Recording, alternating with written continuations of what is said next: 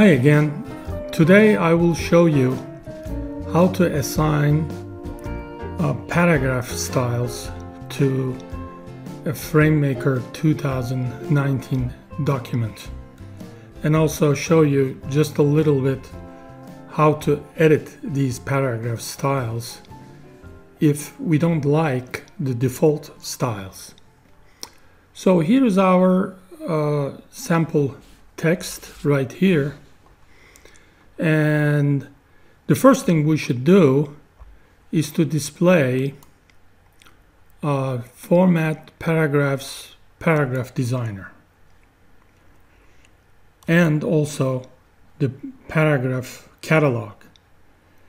The catalog lists all the default paragraph styles the ones with the check marks right next to them are the ones that are used in this document. So we can list this uh, paragraph styles in a number of different ways.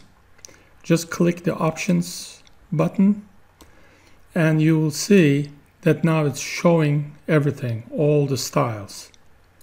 Now by clicking this, we can show those styles that are used in this document before all the others. Now, this list can be real long. It could be 30, 50, 60 styles, depending on your uh, document. And it can get real confusing, hard to track sometimes if you don't group the used ones first. Now, here are the other options we can say show only the used formats, right? So these are all the paragraph styles used in this document. Or we can also show only unused formats. These are not used in this document. And we can delete all unused for, uh, formats and I will leave the customized list to another video. For the purposes of this video, let's see, let's show all, but let's show the used paragraph styles before unused. Okay, so these are the ones that are used. Now, when I click my cursor, uh, the normal turns bold, which means this is uh, a normal uh, paragraph style. Now to change this into let's see body style I just click on body and it just shifted from a non-serif font to a serif font. Looks like uh, Times Roman. I'm not sure now here, let's see, let's say we have a title, chapter title, and we want to assign the heading one style.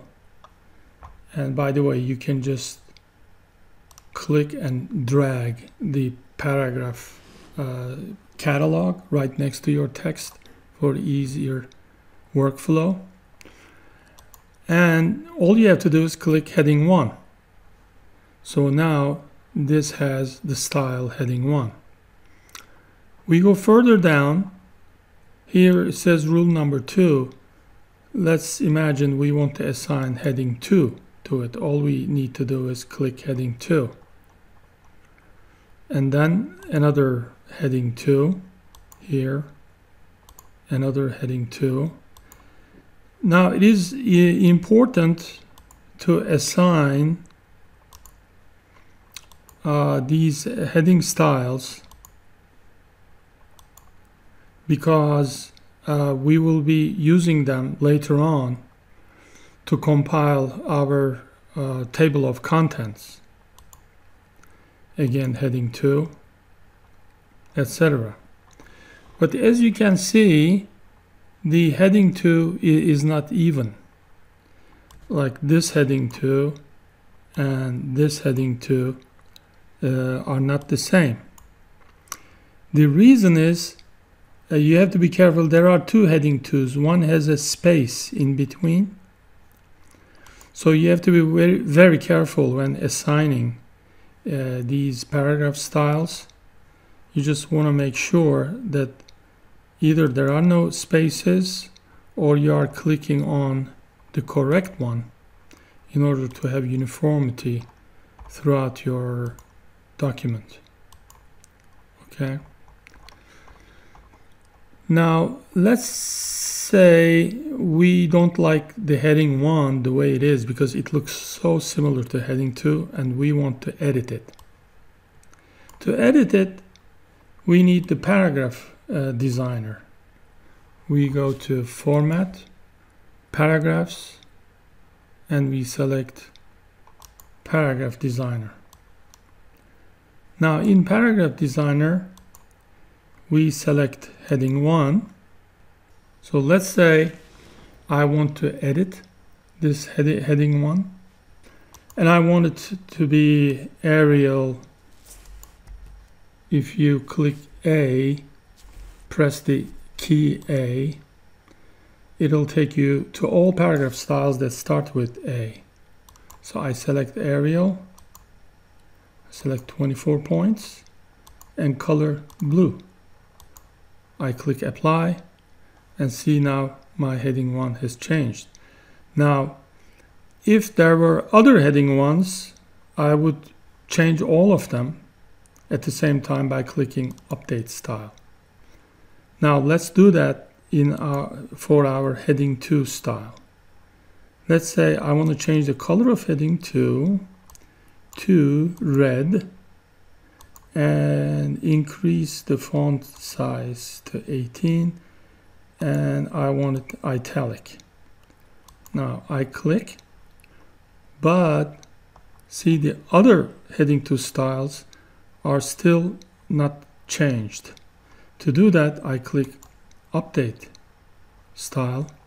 Now all heading 2s have changed to italic, red and a little larger font. So this is the basics of how you uh, edit uh, paragraph styles. What if uh, our document had more than uh, one column? Okay, let's go to column layout and let's say we have three columns with a very small gap in between and the one side head one inch side head again with a small gap. Here again small gap. Now I change the whole uh, flow of text.